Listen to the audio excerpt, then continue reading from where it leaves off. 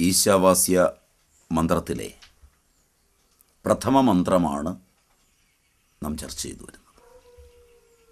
അതിലെ ഈശ ശബ്ദമെടുത്ത് പഠിക്കുമ്പോഴാണ് എല്ലാത്തിന്റെയും പ്രഭുവായ ഒന്നിനെ നമുക്ക് മനസ്സിലാക്കേണ്ടി വരുന്നത്. നമ്മുടെ ദാർശനിക പശ്ചാത്തലമെടുത്ത് ചർവാകത്തെയാണ് നാം ആദ്യം കണ്ടത്. ചർവാകന്മാർ ഈശ്വരനെയും പരലോകത്തെയും എല്ലാം മാറ്റിവെച്ചുകൊണ്ടാണ് ഒരു ദർശനം രൂപപ്പെടുത്തിയത്. ഇത് ബൃഹസ്പതിയാണ് ആദ്യം കൊണ്ടുവന്നത്.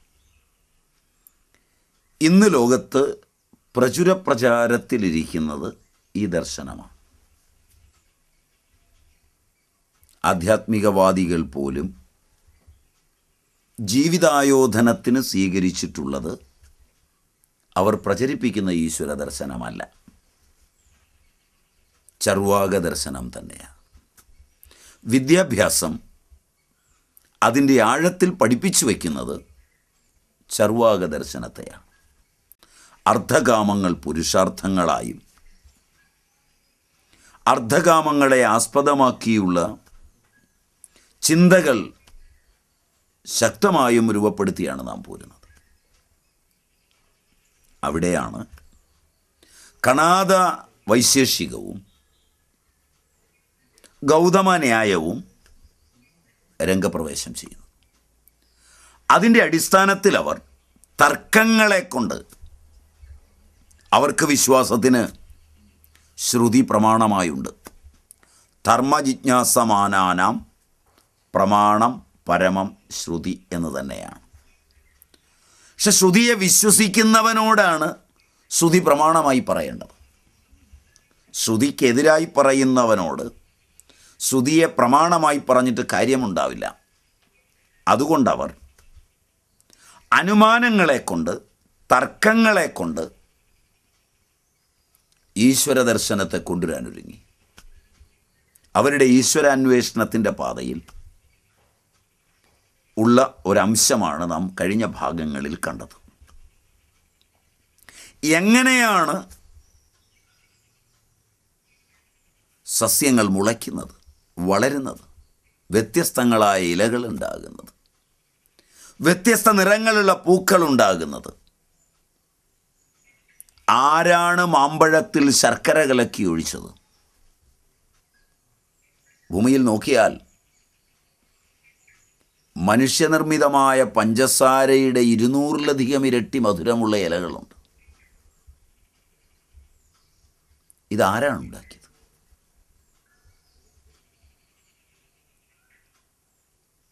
ഒരു ഭാഗത്ത് ഒരു വീടിന്റെ മുറ്റത്തൊരു ചെടിച്ചട്ടിയിൽ പഞ്ചസാരയുടെ ഇരുന്നൂറിരട്ടി മധുരമുള്ള ഇല. മറ്റൊരു ചട്ടിയിൽ കാഞ്ഞിരക്കായുടെ കയ്പിന്റെ നൂറിരട്ടി കയ്പുള്ള ഇല.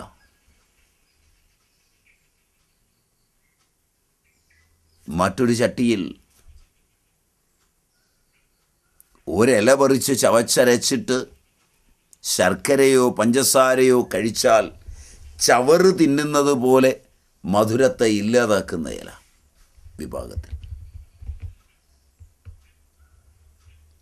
ഒരില പറിച്ചു തിന്നിട്ട് കയ്പിനെ ഇല്ലാതാക്കുന്ന ഇല. വിചിത്രമായ ഈ സൃഷ്ടിക്രമം ആരുടെ നിർമ്മിതിയാണ്? ഇങ്ങനെയാണ് അവർ അനുമാനങ്ങളെ കൊണ്ട് ചോദിച്ചത്. ശിവലിംഗ പുഷ്പത്തിൽ ശിവലിംഗവും സർപ്പവും ചേർത്ത് വെച്ചതാരാണ്? ഒരു പാമ്പ് പത്തി വിരിച്ചിരിക്കുന്നത് പോലെയും പത്തിക്ക് കീഴിൽ ഒരു ശിവലിംഗം ഇരിക്കുന്നത് പോലെയും തോന്നുന്നു. കടലിൽ നിന്ന് പിടിക്കുന്ന ഞണ്ടിന്റെ പുറത്ത് കുരിശു വരച്ചതാരാണ്? പൂക്കളിൽ തേനൊഴിച്ചതാരാണ് സൂര്യോദയങ്ങളും സൂര്യാസ്തമയങ്ങളും നിയമിത രൂപത്തിൽ ഉണ്ടാക്കിയതാരാണ്? ഒരു പകലും രാത്രിയും കൊണ്ട് ഭൂമിയെ ഒരു പ്രാവശ്യം കറക്കുമ്പോൾ ഭൂമി കറങ്ങുമ്പോൾ ആ കറക്കം കൊണ്ട് പകലും രാവും തോന്നുന്നു. ഒരു മാസം കൊണ്ട് ചന്ദ്രൻ ഭൂമിക്കൊരു പരിക്രമണം നിർവഹിക്കുന്നു. ഒരു വർഷം കൊണ്ട് സൂര്യന് ഭൂമി പരിക്രമണം ചെയ്യുന്നു. ധനാണുവിന് പുറകെ ഇർണാണു കറങ്ങുന്നു. ഈ നിയമങ്ങൾ ഉണ്ടാക്കിയതാരാണ്? എല്ലാ ജീവികൾക്കും വേണ്ടി അന്നജലാദികൾ ഉണ്ടാക്കിയതാരാണ്?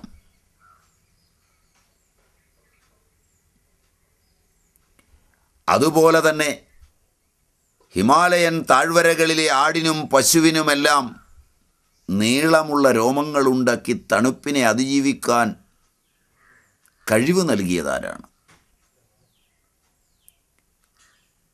ജീവിക്കുന്ന വെള്ളത്തിൽ നിന്ന് പ്രാണവായുവിനെ വേർതിരിച്ചെടുത്ത് ശ്വസിക്കുവാൻ മത്സ്യങ്ങൾക്ക് കഴിവുണ്ടാക്കിയതാരാണ്? ഇതിനൊന്നിനും കഴിയാത്ത മാനവൻ. അവനിലെ കഴിവിന്റെ അല്പമാത്ര കൊണ്ട് അല്പമാത്രമായ കഴിവുകൾ പ്രകടിപ്പിക്കുമ്പോൾ ഇതെല്ലാം ഉണ്ടാക്കിയതിനെ നിഷേധിക്കുകയും ഇതെല്ലാം അനുഭവിക്കുകയും ചെയ്യുന്നു എന്ന വൈപരീത്യമാണ് റൂൾസ് ആൻഡ് റെഗുലേഷൻസ്. സെക്കുലർ എന്നെല്ലാം നാം നിർവചിക്കുന്ന ചർവാകം.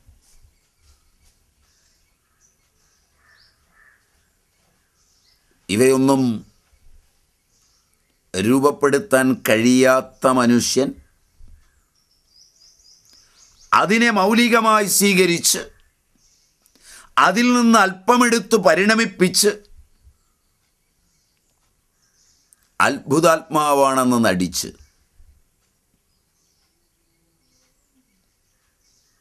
വെള്ളത്തിന് മുകളിലൂടെ നടന്നു നീങ്ങുന്ന ജീവികൾ ധാരാളമുണ്ട്. വെള്ളത്തിൽ പാറ്റയും പറ്റും മുങ്ങിപ്പോകുന്നില്ല.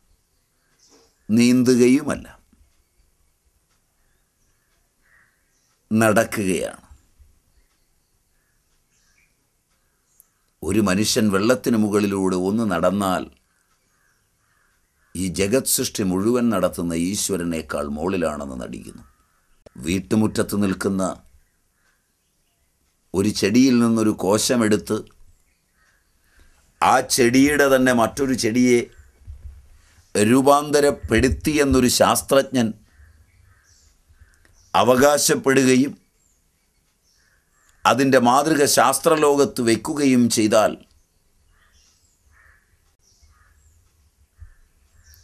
അതിനെ അടിസ്ഥാനമാക്കി ഒട്ടു വളരെ മീറ്റിങ്ങുകൾ കൂടുന്നവൻ വളരെ എളുപ്പത്തിൽ ഈശ്വരനില്ല എന്ന് കണ്ടെത്തുന്നു. കാരണം മനുഷ്യസാധ്യമാണ് ഒരു ചെടിയുടെ തണ്ടിൽ നിന്ന് ചെടി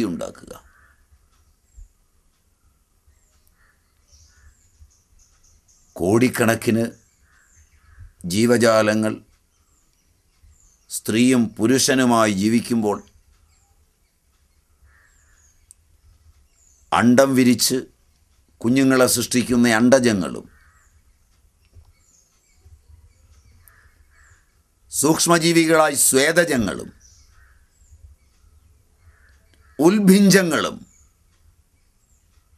ജരായുജങ്ങളുമുള്ളിടത്ത് ആണും പെണ്ണും ഇണ ചേർന്ന് പ്രസവിച്ചു ജീവിക്കുന്നവയും വരെയുള്ളിടത്ത് അതിലെ അല്പപ്രാണനായ മനുഷ്യന്റെ കൂട്ടത്തിൽ നിന്ന് കോടിക്കണക്കിന് മനുഷ്യർ ജീവിക്കുന്നിടത്തു നിന്ന് ആകെ ജനസംഖ്യയുടെ ഒരു ശതമാനം പോലും വരാത്ത കുട്ടികളില്ലാത്ത ആളുകളുടെ കൂട്ടത്തിൽ നിന്ന് ഒന്നോ രണ്ടോ പേരെ വേർപെടുത്തി അവർക്കൊരു കുട്ടിയെ ജനിക്കുവാൻ ഒരൗഷധം കൊടുത്തോ അവരുടെ അണ്ടബീജങ്ങളെ കൃത്രിമമായി സംയോജിപ്പിച്ചോ ഒരു കുട്ടി ഉണ്ടാക്കിയാൽ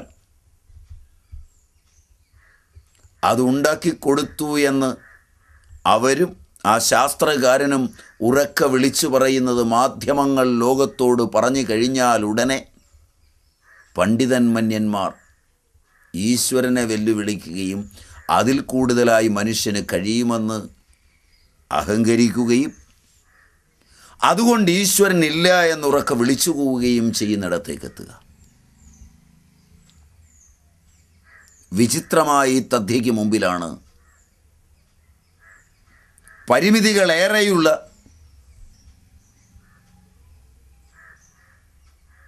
ന്യായദർശനവും വൈശേഷിക ദർശനവും ചോദ്യങ്ങളുമായി തർക്കങ്ങളെയും കൊണ്ട് രംഗപ്രവേശം ചെയ്തത്. അപ്പോൾ എപ്രകാരമാണ് മത്സ്യങ്ങൾ വെള്ളത്തിൽ നിന്ന് വെള്ളം വേർതിരിച്ച് അതിലെ പ്രാണവായുവിനെ തങ്ങൾക്ക് ഉപയുക്തമാക്കിയത്.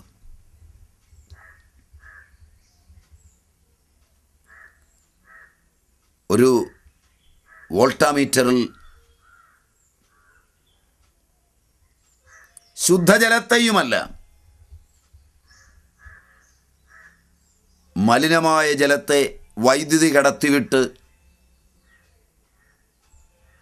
ഹൈഡ്രജനും ഓക്സിജനുമായി വേർതിരിച്ച് കഴിഞ്ഞാൽ നാം എത്ര അത്ഭുതങ്ങളാണ് പറയുന്നത്. എത്ര കൊല്ലം കോളേജിൽ പഠിക്കണം. എത്ര പരീക്ഷണങ്ങൾ കാണണം. എന്നിട്ട് എന്താണ് സാധിച്ചത്? വെള്ളത്തിൽ നിന്ന് ഹൈഡ്രജനും ഓക്സിജനും നമ്മൾ വേർപെടുത്തി പോലും ഒരു കോളേജിലും പോകാത്ത ഒരു സൂത്രവാക്യങ്ങളും ഉരുവിട്ട് പഠിക്കാത്ത ആ മത്സ്യങ്ങൾ ടെസ്റ്റ് ട്യൂബിനകത്തെ കുറച്ച് വെള്ളത്തിൽ നിന്നല്ല കടലിലെ ഉപ്പ് വെള്ളത്തിൽ നിന്നും ഒഴുകുന്ന ശുദ്ധജലത്തിൽ നിന്നും എല്ലാം താൻ താങ്കൾക്കാവശ്യമുള്ള ഓക്സിജനെ വേർതിരിച്ചെടുത്ത് ജീവസഞ്ച സന്ധാരണത്തിന് ആവശ്യമായി പെരുമാറുന്നു എന്നറിയുമ്പോൾ അറിവ് വിനയമുണ്ടാക്കേണ്ടതാണ്. അഹങ്കാരമുണ്ടാക്കേണ്ടതല്ല. അറിവിന്റെ ലോകങ്ങളിൽ അല്പജ്ഞാനത്തിനു പിന്നിൽ പോലും ഒരു ശക്തിവിശേഷം ഈശ്വരമായി സ്പന്ദിക്കുന്നുണ്ട് എന്ന് തിരിച്ചറിയേണ്ടതാണ്. അപ്പോൾ പ്രാണവായുവിനെ വേർതിരിച്ചെടുക്കുന്ന യന്ത്രം മത്സ്യത്തിന് ഘടിപ്പിച്ചതാരാണ്?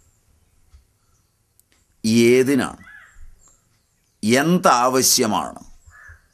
ഏതിന് എന്താവശ്യമെന്നറിഞ്ഞ് വസ്തുക്കളുണ്ടാക്കുന്ന സർവസമർത്ഥ സർവജ്ഞനായ ഒരു ഈശ്വരൻ തന്നെ ഉണ്ട്. അത് വ്യാപകമാണ് നിത്യമാണ് എന്ന് കണാതന്മാരും ഗൗതമന്മാരും പറഞ്ഞു. നൈയായികന്മാരും വൈശേഷികന്മാരും ഇപ്രകാരം തർക്കം കൊണ്ട് പരമാത്മാവിനെ സിദ്ധമാക്കി. പക്ഷെ അവരറിഞ്ഞിരുന്നില്ല. അവരുടെ ദാർശനിക ചിന്തകൾക്കും അഞ്ചു പ്രശ്നങ്ങളുണ്ടായി. കിമീഹ കിം കായ സഖലു കിമുപായ സ്ത്രിഭുവനം കിമാധാരോ സൃജതി കിമുപാദാനമിതി അനന്ത അനന്തജഗത്തിന്റെ സൃഷ്ടാവ് ഈശ്വരനെങ്കിൽ അദ്ദേഹത്തിന്റെ ചേഷ്ട എന്ത്? ആഗ്രഹമെന്ത്? കിമീഹ. അദ്ദേഹത്തിന് എന്ത് താല്പര്യമാണുള്ളത്? ചേഷ്ട എങ്ങനെ? വ്യാപകമായ ആകാശത്തിൽ എന്ത് ചേഷ്ടയുടെ വ്യാപ്തിയാണുള്ളത്? അദ്ദേഹം നടക്കുകയും ഓടുകയും ചെയ്യുന്നുണ്ടോ? എന്തിന്റെ കാര്യകർത്താവാണ്? ഇനി ഈശ്വരനിൽ ചേഷ്ടകളില്ലെങ്കിൽ അദ്ദേഹം എങ്ങനെ സൃഷ്ടികർത്താവാകും? ഘടാതി നിർമ്മാതാവ് സചേഷ്ടിതമാണ്. എന്തിന്റെയും ഉൽപ്പത്തി ക്രിയാപ്രയുക്തമാണ്. ഇതൊന്നാമത്തെ കാര്യമാണ് രണ്ടാമത്തെ കാര്യം ആ ഈശ്വരന്റെ ഘടന എന്ത് അദ്ദേഹത്തിന്റെ ശരീരമെന്ത്? അശരീരിയായ ആത്മാവിന് ഒന്നും നിർമ്മിക്കാനാവില്ല. എല്ലായിടത്തും ശരീരധാരികളാണ് കർമ്മം ചെയ്യുന്നത്.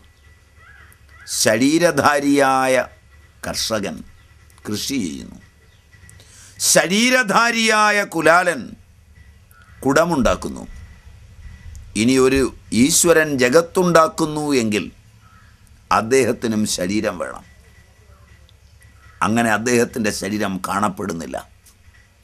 മൂന്നാമത്തെ പ്രശ്നം കടനിർമ്മാണത്തിൽ ദണ്ഡം ചക്രം നൂൽ തുടങ്ങിയ സാധനങ്ങൾ ഉപായങ്ങളാണ്. കിം ഉപായ. അദ്ദേഹത്തിന്റെ ഉപായം എന്താണ്? കെട്ടിടം നിർമ്മിക്കുവാൻ കൂന്താലിയും ചട്ടുകവും കുലശ്ശേര് മറ്റും മറ്റും വേണം. ഈശ്വരന്റെ കയ്യിൽ എന്ത് സാധനമാണ് സൃഷ്ടിക്കുള്ളത് നാലാമത്തെ പ്രശ്നം എവിടെ ഇരുന്നാണ് ഈശ്വരൻ ജഗത് സൃഷ്ടി നടത്തുന്നത്?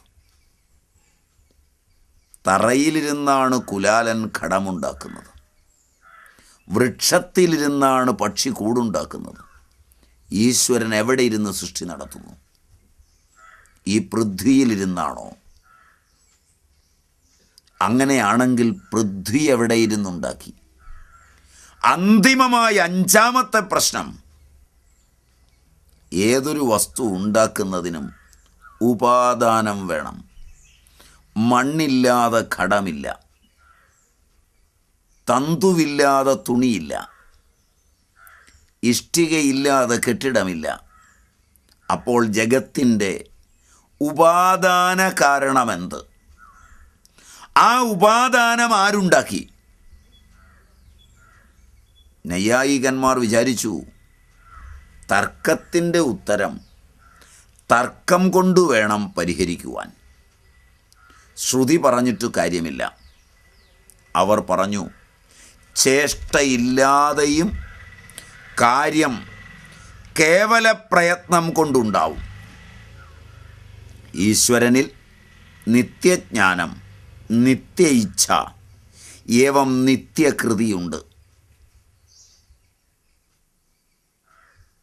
പെണ്ണാമ. ആമയിലെ പെണ്ണ് ധ്യാനം കൊണ്ടു മാത്രം മുട്ട വിരിക്കുന്നുണ്ടല്ലോ ഈശ്വരൻ കൃതി മാത്രം കൊണ്ട് ജഗത്തിനെ ഉണ്ടാക്കുന്നു. അവരെങ്ങനെയാണിത് പറഞ്ഞത്? ശരീരം വേണമെന്നും നിയമമില്ല. ഇനി ശരീരം വേണമെങ്കിൽ പരമാണു തന്നെ ഈശ്വര ശരീരമാണ്. സാധനോപായത്തിന്റെയും നിയമമില്ല. എട്ടുകാലി സാധനമില്ലാതെ വല കെട്ടുന്നു.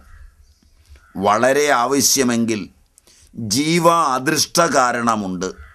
ഉപാദാന കാരണം എന്ത്? എട്ടുകാലിയുടെ വല. അതിൽ ഉപാദാന കാരണം സ്വശരീരം തന്നെ അതിൽ നിന്നാണ് വല വരുന്നത്. നൈയായികന്മാർ ഇവിടെയും പരമാണു ഉപാദാന കാരണമാണ്. പരമാണുവിനെ ഈശ്വരന്റെ ശരീരമെന്ന് തന്നെ മാനിക്കാം. ശരീരം മാനിച്ചാലും ഇല്ലെങ്കിലും പരമാണു ഉപാദാന കാരണം തന്നെയാണ്. പരമാണുവിനെ ഏതുപാദാനം ഉളവാക്കി സൃഷ്ടിച്ചു. ഏതുപാദാനം കൊണ്ട് പരമാണുവിനെ സൃഷ്ടിച്ചു. വീണ്ടും പ്രശ്നമായി.